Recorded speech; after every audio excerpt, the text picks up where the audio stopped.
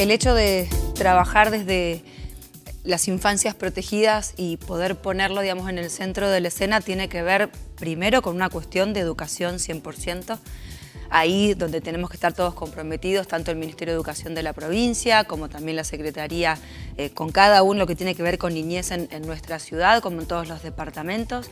El tema de las obras son vitales. Nosotros en cada una de las recorridas que hacemos, vos te corres un poquito de lo que es el corazón de Barrio Las Flores o el corazón de Barrio Belgrano, este, o el corazón, por ahí te diría, eh, de Santa Lucía eh, y te das cuenta que la cloaca llega justo hasta la puerta de, un vecino y el otro ya tiene que hacer este, muchísimas historias como para poder tener cloacas. Eh, sinceramente no se vive bien en la ciudad de Rosario.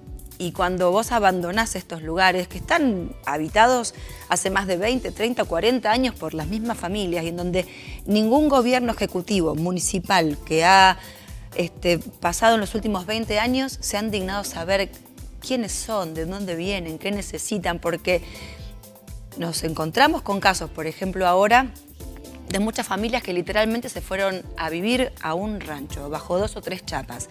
Se está juntando lo que es Villa La Cariñosa, que nació allá por Avellaneda y el puerto de circunvalación, junto con lo que sería la parte de atrás de Vía Honda de Boulevard Seguí y Rullón. Se está formando Vía Honda 2, con personas que alquilaban, con personas que tenían trabajo, que lo único que tienen es la asignación para tratar de pichulear, este, rajunear algo de, lo que el, gobierno le da. Se sienten muy indignos porque tienen un, oficio y ahí estamos trabajando nosotros, viendo a ver de qué manera podemos potenciar esas personas que con un oficio tienen la posibilidad de volver a trabajar y es lo que más nos piden. No solo la inseguridad, sino también el trabajo. La falta de oportunidades que vemos en los más chicos, donde los ejemplos en estas zonas más vulnerables lamentablemente tienen que ver con el crecimiento económico de aquellos que delinquen el barrio, que son los dueños de la cuadra o que tienen el último celular, que cambiaron el auto, que la casa ya la están techando, donde hay cosas raras, son los ejemplos que los chicos ven y es lo que tenemos que modificar.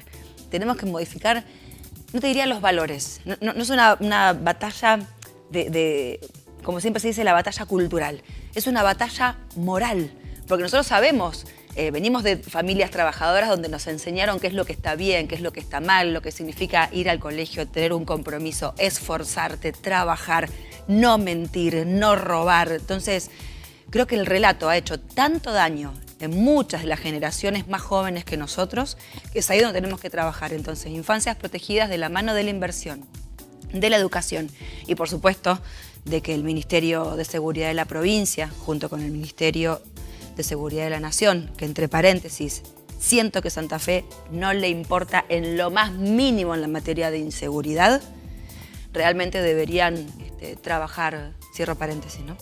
Realmente deberían trabajar de una manera mucho más enérgica porque tenemos un ejemplo que fue muy concreto, que fue el gobierno de Mauricio Macri, Patricia Bullrich como ministro a la cabeza y Germán Garabano como ministro de Justicia. Ahí realmente se vio eh, el laburo mancomunado que había entre cada uno de los ministros, con Bullrich, Bullaro, Garabano, eh, la propia intendenta en su momento que estaba Fein. Digo, si hay muestras de que se puede, ¿por qué no ponerlo en práctica? ¿Por qué dejarnos tan solos? ¿Por qué avasallar esta zona y sentirnos que estamos a la buena de Dios en cualquier horario, en cualquier barrio? Creo que tienen que dar explicaciones cuanto antes y nosotros acompañar y sumarnos a trabajar y creo que este proyecto puede ser beneficioso para nuestros chicos, porque siempre decimos, si nos roban el futuro, si nos roban nuestros hijos, nos roban el futuro. Así que ahí apuntamos y mucho. Malas decisiones políticas, funcionarios que no son idóneos para su lugar, ponerse excusas y no hacerse cargo de lo que realmente estaba pasando, porque fíjate que en los últimos 20 años lo que ha hecho el Frente Progresista fue prohibir, prohibir y prohibir. Y cuando vos prohibís, obviamente es como que eliminás, pero no solucionás el problema de fondo. O sea, es como que te la pasás poniendo parches o maquillajes. Yo me acuerdo que había empezado Mañanita eh, en el año 2012, que fue el último año que, lo hice. Estaba embarazada de Mora. Estaba yendo a hacer mi programa, era el 6 de marzo del 2012. Salgo de la puerta de mi casa, corazón de Barrio Ascuénaga, y habíamos escuchado a la noche unas detonaciones, eh, y sí, tenía el auto baleado. A partir de ahí, sinceramente, eh, con la noticia a flor de piel y con las personas ya modificando su forma de vida, porque imagínate que ya no denunciábamos en la comisaría, denunciábamos en los medios de comunicación porque venían más rápido y tenías más confianza de que algún periodista este, se, en cierto modo te escuche tu reclamo y te pudiese dar una solución, aunque sea como para acompañarte. A partir de ahí creo que se modificó nuestra forma de vida, eh, no alcanzaba con la alarma, no alcanzaba con las rejas, no alcanzaba con el perro, no alcanzaba con cuidarte. Empezó esta cuestión también como este, de, eh, de, robos pirañas, donde la situación era cada vez más difícil y creo que fallamos en la designación de los ministros este, sobre todo en el gobierno del Frente Progresista. Los ministros de Seguridad no estuvieron a la altura de las circunstancias, no se invirtió en seguridad. Es evidente que el ojo, más las cámaras vacías y los software que no se renuevan, hacen que estemos completamente eh, a la buena de Dios. Eh, y creo que en ese sentido tenemos que dar eh, digamos, el punto de inflexión. Nosotros no queremos vivir inseguros, queremos vivir en paz queremos tratar de hacer una vida casi normal ahora saliendo de la pandemia y además teniendo los números más altos de homicidios eh, en lo que va de, los últimos 10 años. O sea, creo que realmente eh, de esa palabra que se usó en su momento que querían estigmatizar a Rosario, se empezó a maquillar, se empezó a mentir y hoy están los resultados por las malas decisiones políticas en cada uno de estos lugares.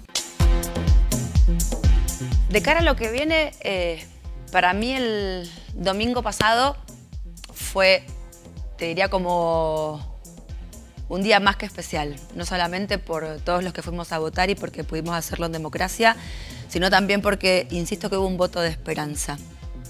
Eh, todos estamos cansados, todos estamos como apáticos, todos estamos eh, viviendo con mucha tristeza y con mucha angustia sobre todo porque además de los problemas que ya teníamos, se le sumó la pandemia con un gobierno completamente desfachatado que te das cuenta que te agarra de estúpido. Y lo que no hay que subestimar es a los ciudadanos argentinos, por ende a los santafesinos y en nuestro caso cuidar muchísimo a los rosarinos.